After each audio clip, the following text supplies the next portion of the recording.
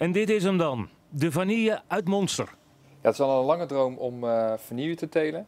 Uh, vanille is natuurlijk echt een heel bijzonder uh, product. En we hadden zoiets van, nou, wat kunnen wij, kunnen wij überhaupt vanille telen? En als we het gaan doen, kunnen we ook de beste vanille telen. Helemaal nieuw is het overigens niet. Rond 2014 werd het ook al geprobeerd door een kweker samen met de Wageningen Universiteit. Dit ging mis omdat de kweek niet commercieel rendabel bleek. En daar stopte het experiment. Het duurt ook gewoon lang om vanille te kweken in een kas. Nou, deze die hangt er al drie jaar. En het duurt drie jaar voordat je dus de eerste echte peulen eraf krijgt. Dus normaal groeit uh, de vanille groeit in de natuur.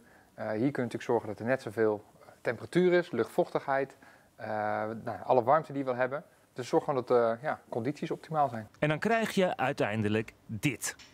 Toch iets anders dan het stokje uit de winkel. Ja, dus deze vanille die komt uit de supermarkt. En deze komt hier uit de kast vandaan. Alleen vaak wordt die vanille helemaal ingedroogd, dus dan krijg je echt zo'n hard stokje. En bij deze kunnen wij dat heel goed zelf controleren. En krijg je dus eigenlijk een malse, een beetje als een rozijntje-achtig uh, peul.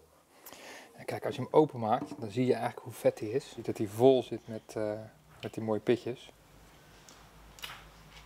Het gewas in Monster staat er mooi bij. Het is nou eentje die is precies goed om uh, verwerkt te worden. Maar hoeveel er precies van de planten afkomt, dat is nog onduidelijk. Ja, over de maand is de, is de eerste keer dat we gaan uitleveren.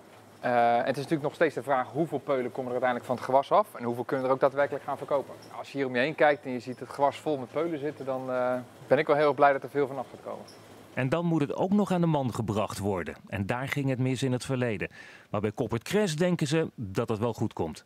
We zijn langs de deur gegaan, we zijn bij restaurants langs gegaan. En dat gaat dus een lopend vuurtje. Die chefs hebben heel veel contact met elkaar. Uh, wij worden platgebeld of kom je ook nog bij mij langs? Ik wil het ook proeven. ja, dat is natuurlijk een primeur. De eerste vanille geteeld in Nederland.